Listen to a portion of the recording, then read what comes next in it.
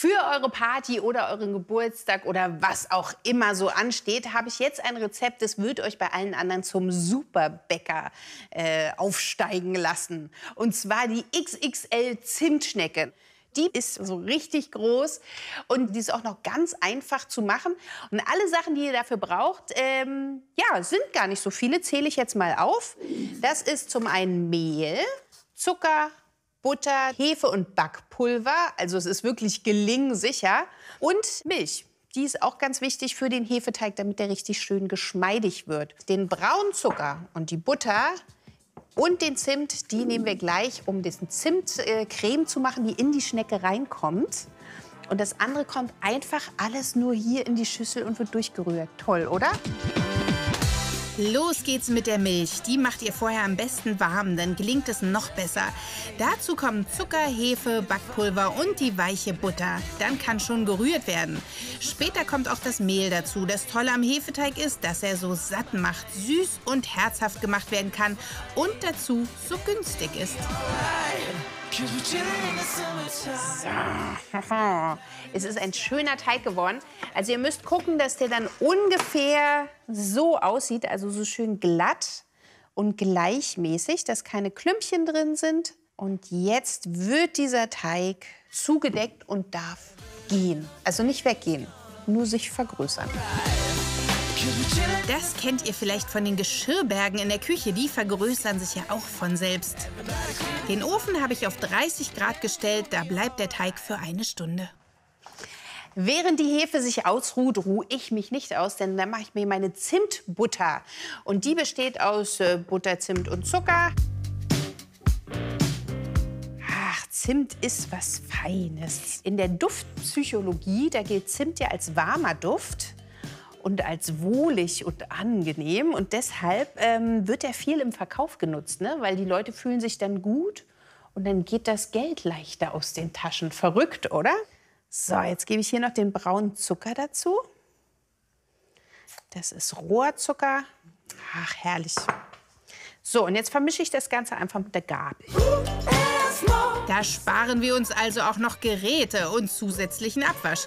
Die Zutaten verbinden sich ganz flott zu einer cremigen Masse. So, Füllung ist fertig. Mal gucken, was der Hefeteig macht.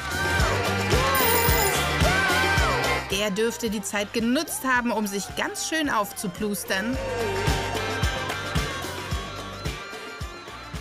Tada!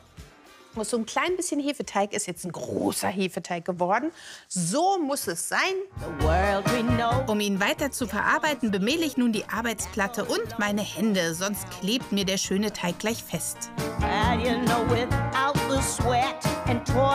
Hefeteig ist einfach was Tolles.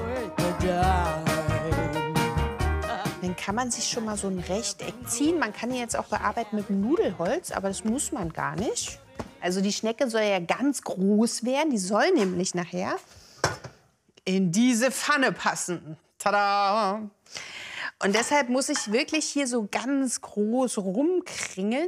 Und deshalb mache ich mir vier Streifen, die ich alle dann so miteinander immer aufrolle, bis es größer wird. Das kriegt ihr prima mit einem Pizzaroller oder Messer hin. Und jetzt streiche ich mir die Streifen immer schön ein mit meiner Zimtbutter und roll sie dann zusammen. Damit nachher nicht zu viel an den Seiten rausquetscht, lasst am besten einen halben Zentimeter zum Rand frei. So, und jetzt rolle ich das Ganze zusammen. Das geht ganz einfach und muss auch gar nicht so genau sein. Das ruckelt sich in der Pfanne von selbst zusammen. Die nächste.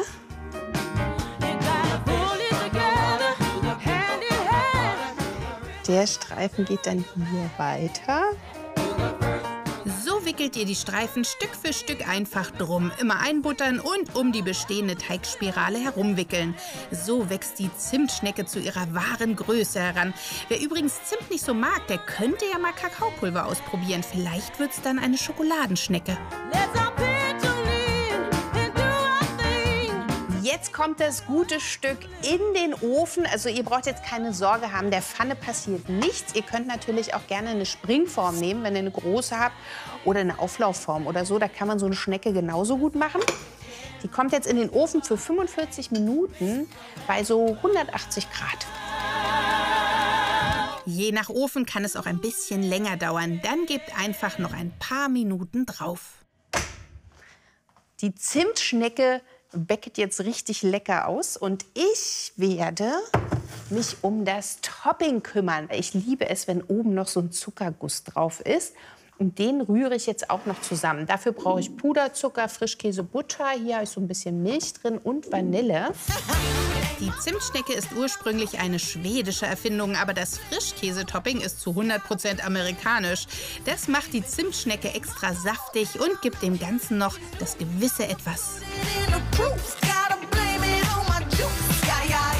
Es duftet jetzt hier schon nach Zimtschnecke. Toll, oder? Und es duftet ja nicht nach einer normalen Zimtschnecke, sondern dem ganz großen Bruder davon. Mehr Schnecke, mehr Duft. Ach, herrlich. Ah, sie hat ihr Ziel erreicht. Ui. Oh, schwer, schwer, schwer, schwer, schwer. Sieht sie nicht fantastisch aus? Oh, Schneckchen, sieht großartig aus. Jetzt, du kleine Schnecke. Zack. Ah, Das ist ein Oschi, oder? Und der bekommt jetzt noch mal original amerikanisches Frischkäsetopping. Mehr geht wirklich nicht. Da kriegt man doch sofort Appetit, oder? Wie geht's euch?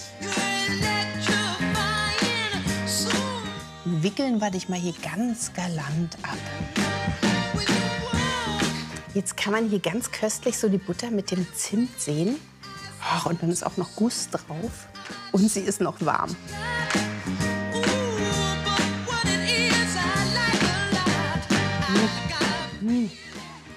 Großartig. Eine große Schnecke für kleines Geld.